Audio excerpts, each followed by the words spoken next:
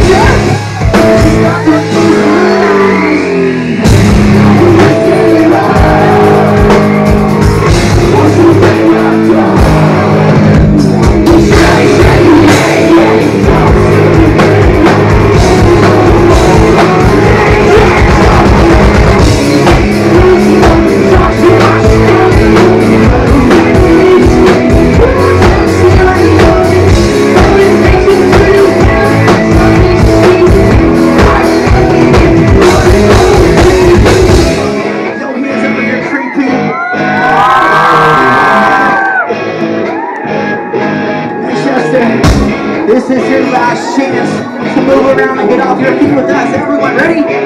One, two, three, four. Yeah!